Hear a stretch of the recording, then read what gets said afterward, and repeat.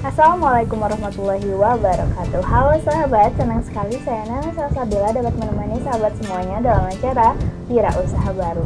Seperti biasanya, saya selalu menyajikan salah satu tokoh inspiratif sekali di bagian wira usaha yaitu bersama dengan Ibu Eti. Halo Ibu. Halo. Nah, Ibu Eti ini bukan hanya praktisi ya, tapi sekaligus juga pembimbingnya loh. Wah, jadi Bu Eti ini memiliki peran yang sangat penting sekali sepertinya di bagian wirausaha ya Bu ya. Nah, Iya. pengen tahu nih, usaha apa Ibu? Usaha saya kebetulan dari tahun 2004 itu adalah pembuatan karpet bambu Lebih kepada industri eh, karpet bambu, bahan-bahan baku lokal terutama selain bambu juga ada mebelnya juga gitu Jadi eh, terus eh, untuk kemasan-kemasan produk bahan-bahan baku lokal terutama yang ada di wilayah eh, Wewengkon Jawa Barat Hmm, jadi memang mengkhususkannya itu di bagian Jawa Baratnya ya Bu ya. Dan Iya, Ibu betul. memang budidayakan sekali dengan menggunakan mengolah bahan dari lokal ya. Iya betul Cinta produk Iya, sendiri. Iya betul betul Nah, itu kayaknya udah lama atau baru-baru nih Bu?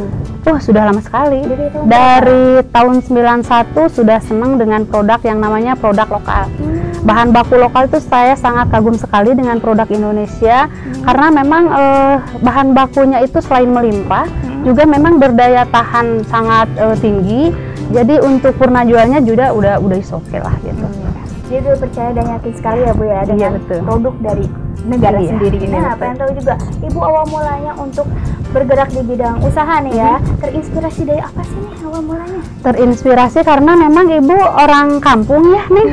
Jadi ibu mah tinggalnya teh rumahnya teh deket dapuran awi. Jadi deket eh, rumpun bambu. Hmm, Jadi suka berpikir ini bambu ya gimana kalau misalnya eh, ditingkatkan daya jualnya teh gitu ya. Karena selama selama dulu itu tahun 90-an itu bambu tuh murah gitu. Jadi dibikinnya boboko, ayakan, sair yang itu pokoknya alat-alat konvensional lah gitu yang ada di, di masyarakat yang dipakai itu kayak untuk nampan Iya. kayak gitu ya. Hihi kipas Iya. zamannya dulu tuh.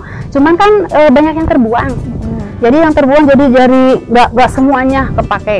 Nah akhirnya mikir terus dan juga memang alhamdulillah ya eh, dukungan juga dari pihak keluarga juga gitu. Semuanya lah masyarakat juga mendukung gitu untuk meningkatkan oh ini bambu dari Salenjer teh kalau zamannya dulu jadi sepuluh ribu gitu ya. Nah, kalau udah dianyam teh karena daya beli dulu mah atuh dah ah kur 2000 bambu teh gitu ya.